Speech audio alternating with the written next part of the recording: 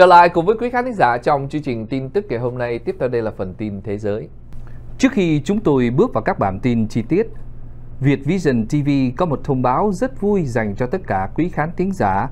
Bắt đầu từ hôm nay, Việt Vision TV có mặt trên tất cả các hệ thống TV thông minh Smart TV.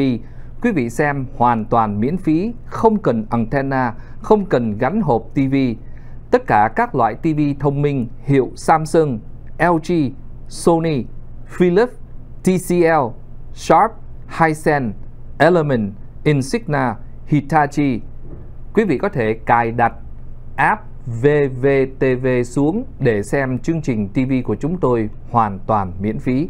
Xin trân trọng gửi đến quý vị thông báo này.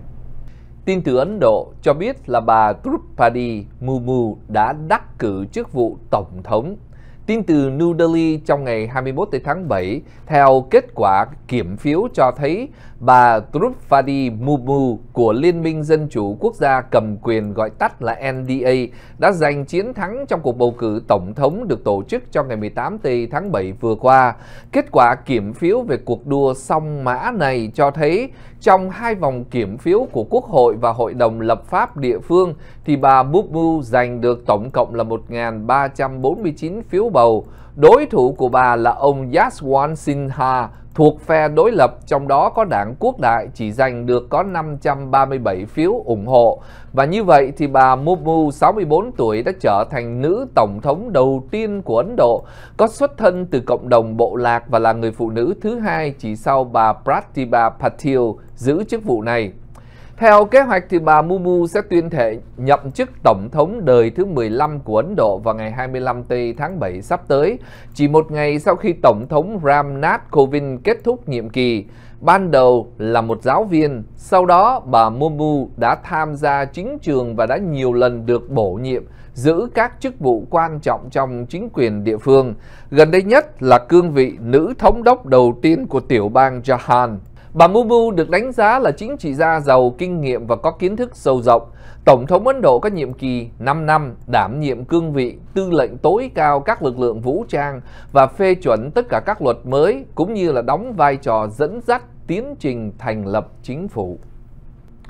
Tin từ Sri Lanka, bản tin tiếp nối cho biết là nội các mới của Sri Lanka sẽ tuyên thệ nhậm chức vào ngày 22 tây tháng 7.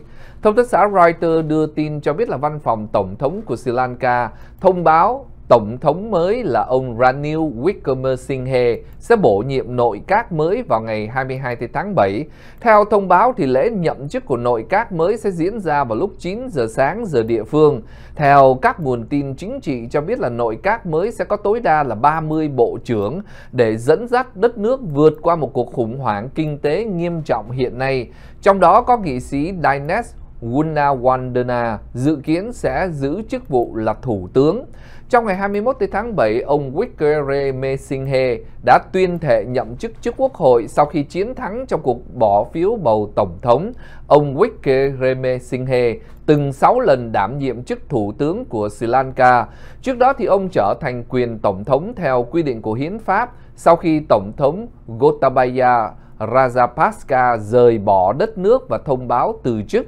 Trên cương vị mới, ông Wickremesinghe đối mặt với nhiệm vụ là đưa quốc gia Nam Á này thoát ra khỏi một cuộc khủng hoảng kinh tế và chính trị tồi tệ nhất kể từ khi giành được độc lập từ năm 1948.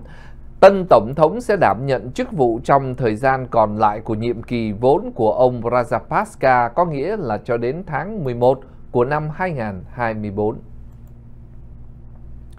Sang qua Đức Quốc, bản tin tiếp nối cho biết là Đức khuyến nghị nên tiêm vaccine đậu mùa khỉ cho những người có nguy cơ cao. Ủy ban tiêm chủng thường trực của Đức trong ngày 21 tháng 7 đã khuyến nghị nên sử dụng tất cả các nguồn vaccine đậu mùa khỉ có sẵn để tiêm mũi đầu tiên cho những người có nguy cơ cao và mũi thứ hai sẽ chỉ tiến hành khi có đủ lượng.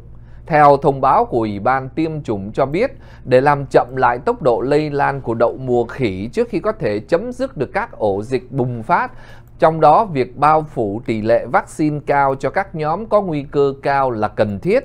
Cho đến nay thì Đức đã ghi nhận khoảng 2.110 trường hợp nhiễm đậu mùa khỉ, trong đó tổng cộng trong số gần 14.000 trường hợp trên toàn thế giới. Ủy ban tiêm chủng của Đức khuyến nghị những người trên 18 tuổi đã tiếp xúc trực tiếp với những người bệnh hoặc có nguy cơ cao nhiễm đậu mùa khỉ, nên tiêm một mũi vaccine của hãng công nghệ sinh học Bavarian Nordic của Đan Mạch. Theo Ủy ban tiêm chủng thì các nhóm có nguy cơ cao trong đó có những người đã tiếp, tiếp xúc trực tiếp trên da, tiếp xúc gần với những người bị mắc bệnh đậu mùa khỉ hay là nhân viên phòng thí nghiệm tiếp xúc mà không được bảo vệ với các mẫu bệnh phẩm. Và trước đó thì Viện Robert Koch Cơ quan Kiểm soát và Phòng ngừa Dịch bệnh của Đức cho biết có khoảng 130.000 người cần tiêm vaccine đậu mùa khỉ. Tuy nhiên, hiện nay thì Đức mới chỉ nhận được có 40.000 liều vaccine Jynneos của hãng Bavarian Nordic, còn được gọi là Imvanex ở châu Âu. Dự kiến sẽ có thêm khoảng 200.000 liều vaccine nữa sẽ đến với nước Đức trong quý 3 của năm 2022. Vaccine đậu mùa Imvanex được cấp phép sử dụng tại Liên Âu đã sẵn sàng để tiêm cho những người có nguyện vọng. Vaccine này có khả năng bảo vệ chống cả bệnh đậu mùa và đậu mùa khỉ do virus gây bệnh tương tự nhau. Vẫn liên quan đến châu Âu, bản tin tiếp nối cho biết là Ngân hàng Trung ương của châu Âu tăng lãi suất để kiểm soát lạm phát. Trong ngày 21 tháng 7, Ngân hàng Trung ương của châu Âu ECB đã quyết định tăng lãi suất với mức là 50 điểm cơ bản. Động thái này xác nhận về việc lạm phát đang tăng cao hiện nay đáng lo ngại hơn nhu cầu về tăng trưởng kinh tế. Đây là lần tăng lãi suất đầu tiên của Ngân hàng Trung ương trong khu vực đồng euro trong 11 năm qua. Mức lãi suất huy động âm có nghĩa là trừ 0.5% của Ngân hàng châu Âu đã được duy trì kể từ năm 2014. Với mức tăng lãi suất mới thì lãi suất tiền gửi hiện nay là 0%. Trước đó thì ngân hàng châu Âu cho biết là sẽ chỉ nâng lãi suất từ từ và có nhiều khả năng nhất là chỉ nâng 25 điểm cơ bản vào tháng 7, sau đó sẽ nâng mạnh hơn vào tháng 9. Tuy nhiên, trong bài phát biểu gần đây nhất, chủ tịch của Ngân hàng châu Âu là bà Christine Lagarde cho biết rằng có những điều kiện rõ ràng khiến cho cách nâng lãi suất dần dần là không hợp lý. Theo thông tấn xã Reuters cho biết, việc ngân hàng châu Âu tăng 50 điểm cơ bản vẫn không đủ mạnh tay so với các ngân hàng trung ương khác trên thế giới, đặc biệt là Quỹ dự trữ liên bang của Hoa Kỳ, một cơ quan đã nâng lãi suất lên tới 75 điểm cơ bản trong tháng trước và có khả năng sẽ tiếp tục có một đợt nâng lãi suất cơ bản khác trong tháng 7 này. Giá nguyên vật liệu cao đang làm suy giảm sức mua. Tuy nhiên, việc tăng lãi suất tức là tăng chi phí đi vay trong thời kỳ suy thoái đang gây tranh cãi vì có thể làm tăng khó khăn cho các doanh nghiệp và các hộ gia đình. Sang qua một quốc gia châu Á đó là Thái Lan, thủ đô Bangkok của Thái Lan mở thêm bệnh viện giã chiến để đối phó với tình hình Covid-19 hiện nay.